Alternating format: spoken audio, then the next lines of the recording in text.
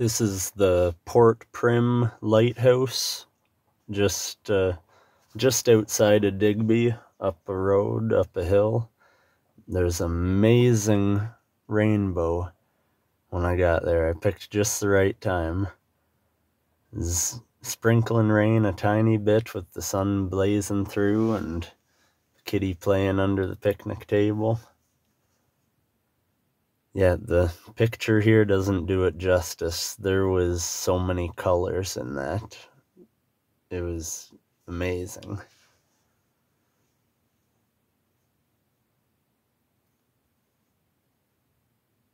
Yeah, the shoreline here is so battered and broken and the kitty just loved playing around on the rocks.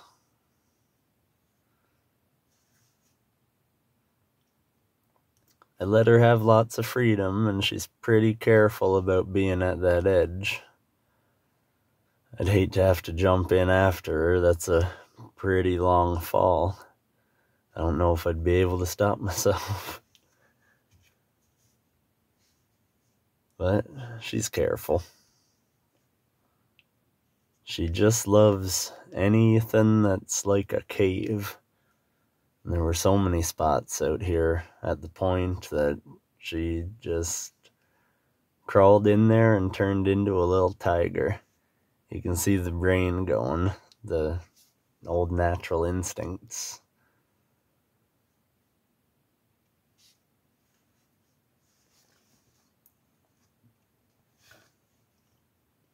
And she's so good at picking a trail, too.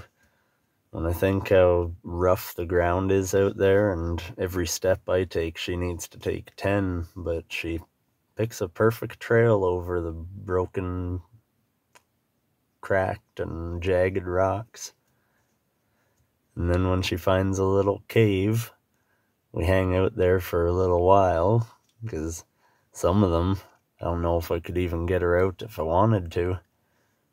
But if she gets in somewhere, she's got to be able to get herself out too.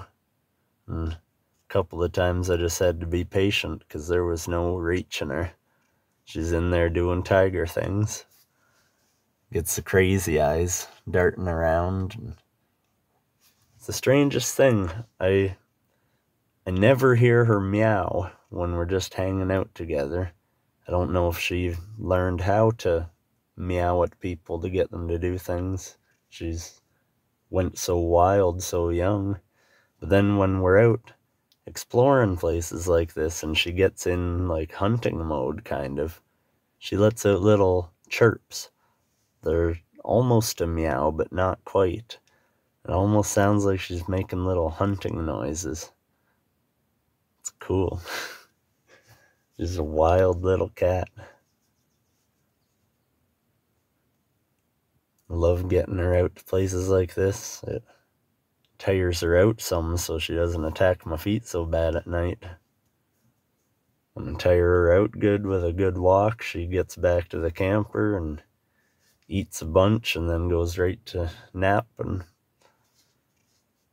and she gets me out more too because I feel a responsibility to let her get out and see the world outside of the truck so she kind of gets me out there to see things. The tide pools out here are so cool.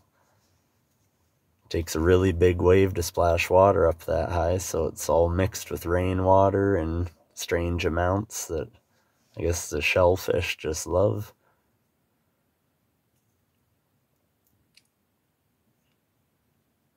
Yeah, she acts acts like a little tiger when she finds a cave. It's so awesome.